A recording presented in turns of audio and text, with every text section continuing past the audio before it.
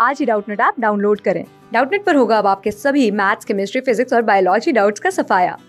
बस अपने क्वेश्चन की फ़ोटो खींचो, उसे क्रॉप करो और तुरंत वीडियो सोल्यूशन पाओ। Download now.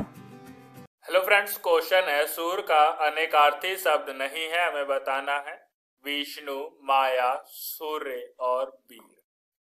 तो हमारा क्या हो जाएगा? ये पहला ऑप्शन, दूसरा ऑप्शन, तीसरा ऑप्शन, चौथा ऑप्शन। तो जो हमारा माया है माया शब्द क्या है? सूर का अनेकार्थी शब्द नहीं है। माया मतलब भ्रम, कल्पना, छवि, दृष्टि यह इसके अनेकार्थी शब्द है। माया का अनेकार्थी शब्द क्या होता है? भ्रम। भ्रम, कल्पना कल्पना, छवि। क्या हो जाएगा? छवि, दृष्टि।